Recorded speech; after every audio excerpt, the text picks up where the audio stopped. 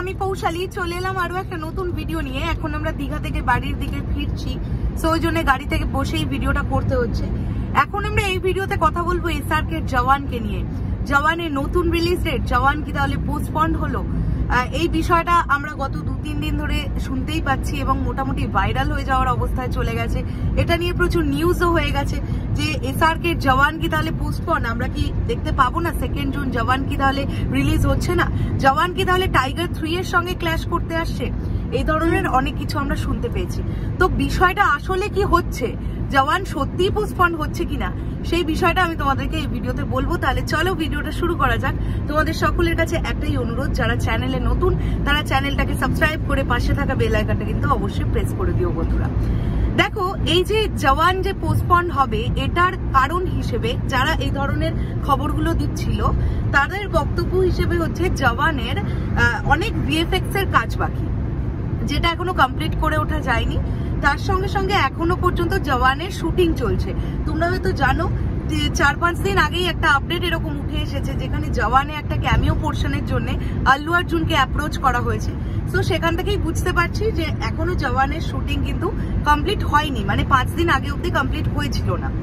So এই ধরনের এই যে কথাবার্তাগুলো উঠে আসছিল, এই সমস্ত কিছু মিলিয়ে বিশেষ করে মানে বেশ কিছু দেখবে সুবিধাবাদী মানুষ থাকে যারা কিছু খবর রটিয়ে দিয়ে মনে করে মানে মনে করে যে তারা তাদের চ্যানেল বা যেটাই হোক টুইটার হোক ফেসবুক হোক ইউটিউব হোক ইনস্টাগ্রাম হোক যেটাই হোক তারা একটা ভালো জায়গায় তাদের চ্যানেল বা পেজকে নিয়ে যেতে পারবে ফেক ফেক খবর দিয়ে। সো এই ধরনের এই খবরটাও কিন্তু একটা ফেক খবর।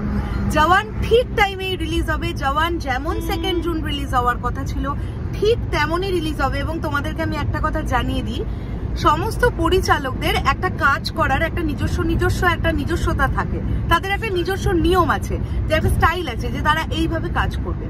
অ্যাটলি কুমার এমন একজন ডিরেক্টর যিনি কিন্তু শুটিং করতে করতে সেই পোর্শনগুলো এডিটিং করতে শুরু করে দেন। মানে উনি বলেন ওনার টিমকে, ধরো একটা দিন এই শুটিং হলো, ধরো শাহরুখ খানের এন্ট্রি সিন শুট হলো। সেই দিন রাত্রিবেলা থেকেই সেটা এডিট টেবিলে চেপে যায় যে কিরম করে সেটাকে দেখাবে।